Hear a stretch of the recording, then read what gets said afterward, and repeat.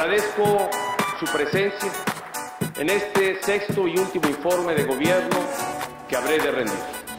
Mexiquenses, el 15 de septiembre de 2005 rendí protesta como gobernador del Estado de México.